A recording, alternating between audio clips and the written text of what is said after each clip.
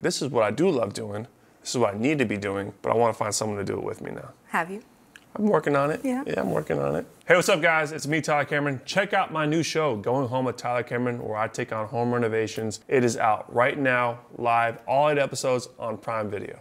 Tyler Cameron, welcome to NowThis. Thank you so much for being here. Of course, excited to be here. Your show, Going Home with Tyler Cameron, is coming out soon. By the time this is out, it will be out. And talk to me about how long it took to get the show where it is today, because this was a long time in the making. Yeah, so this was like four years really in, in, all of making. We were conceptualizing the idea, we finally pitched it, we're getting ready to shoot the sizzle reel. My, sadly, my mom passed away right before that, so then we had to postpone it.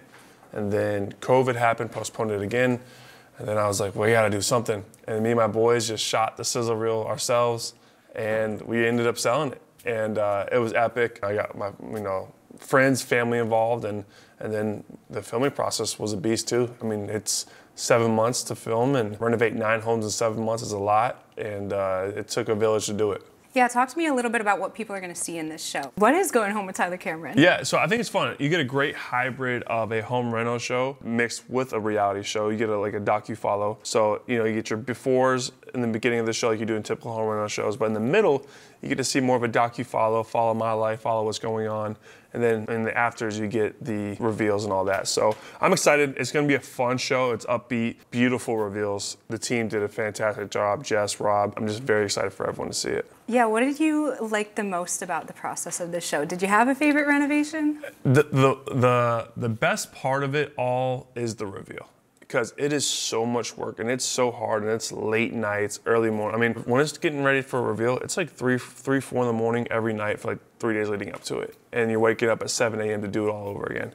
So I mean, you're you're dying, you're in pain, but once you get them to that door, it all kind of goes away. You get excited, and then you bring them through, and just to see their reactions and see people cry and the joy, it's it's it's like ah, okay, it was worth it. It was really worth it. Yeah, there are definitely a few that literally are kind of it's that jaw on the floor sort of moment just watching it. So I can't even imagine. Yeah. Walking in and that's your new home, and that's got to be so satisfying, not only for the people who get to live there, but for you guys who all work. Yeah, and I even got a taste of that. You know, I helped renovate my mom's home on the show, and you'll get to see it, but they kick me out when it's time to decorate it. And that was cool to kind of get the reveal and walk through it all. And, and I mean, it brought me to tears, you know, to see my childhood home turn into such a beautiful space again.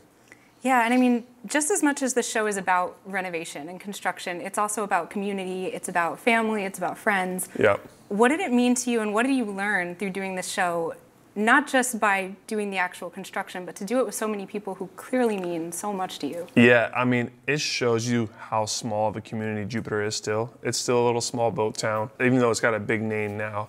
But uh, we still stick together, we still take care of each other. That's why I love being home. Once I got back home during COVID, I was like, oh, I'm not leaving.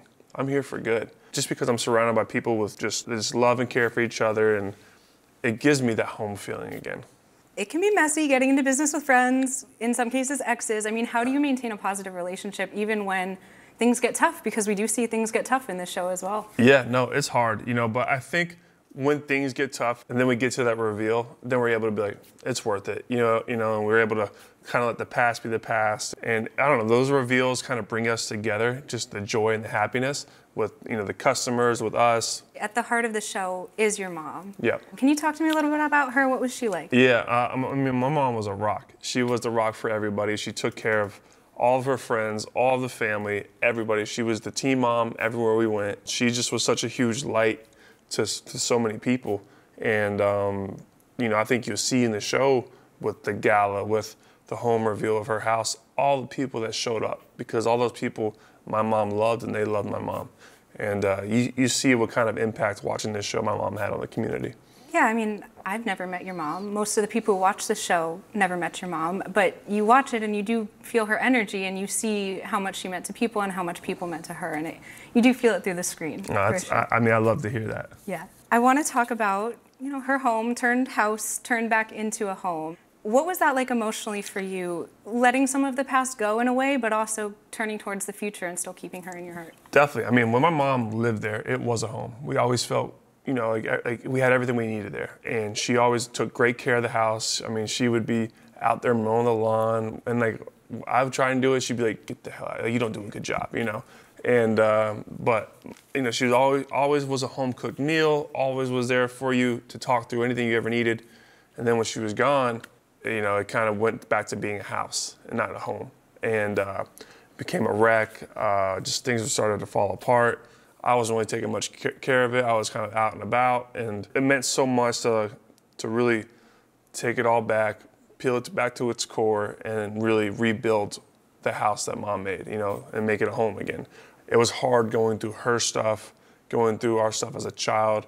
Um, it took me, I mean, for to be honest, six months I couldn't go into a room, you know, and so then to have to go through there, all the furniture and pull it all out and all the clothes and all the memories, you know, we made sure that when we did rebuild the house, that we found ways to honor her. You know, she loved her cowgirl boots and her hats, and we, we you know, we built an alcove out in front of her bedroom, and we made a way to honor her in there. And you know, I planted the tree in the front yard with her ashes, and it's a butterfly tree because butterflies remind me of her.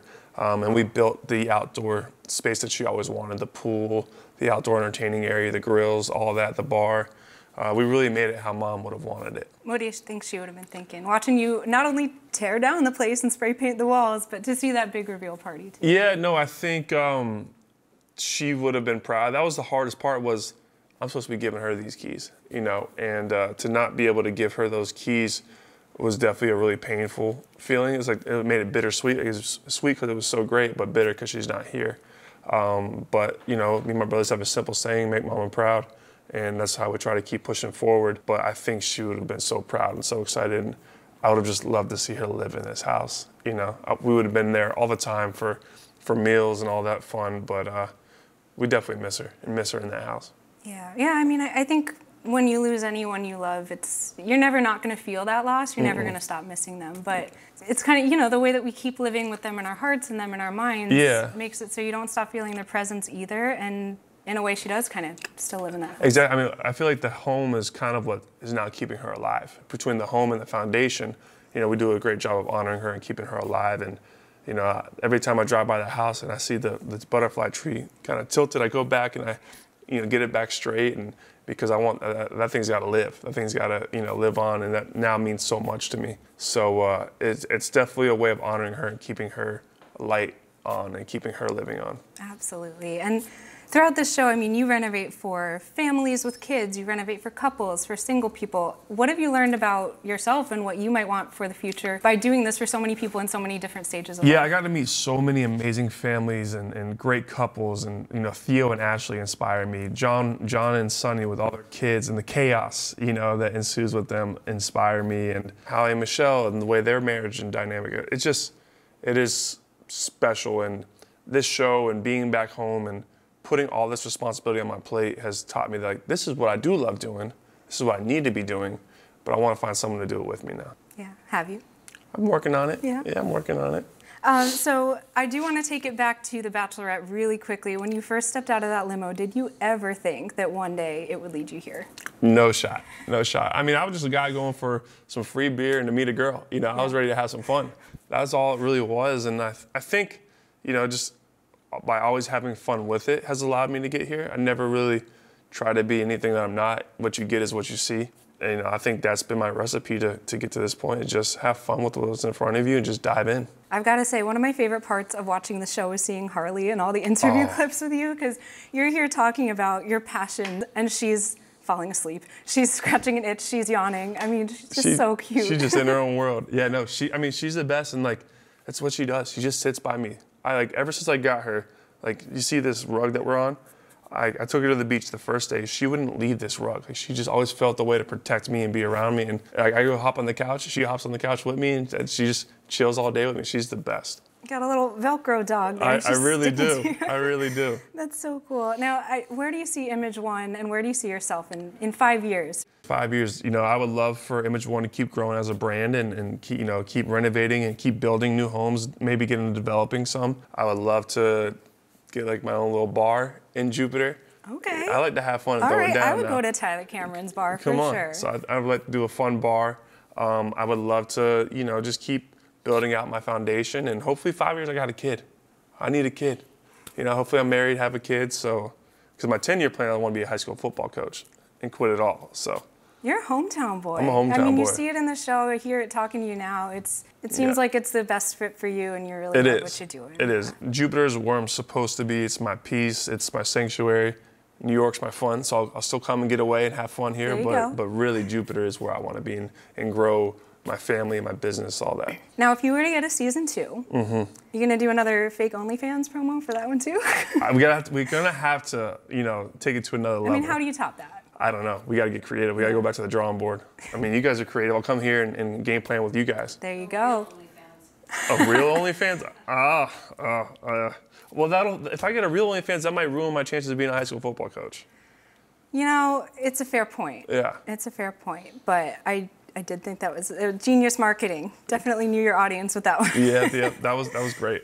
Is there anyone from Bachelor Nation that you'd like to see in the future on working on this show in some capacity or in, with Image One in some capacity? I thought Hannah did a great job. She did. Would love to have her come on and design some more. Matt just bought a house in Jupiter. Maybe he needs some some renovations, some upgrades. You know, if, if Joey and Kelsey want to come move down, or Jenn Tran and her new man want to come move down, There we like go. we need some more Florida people. You know, it's better down you know down in South Florida. It's it's good. It's good life.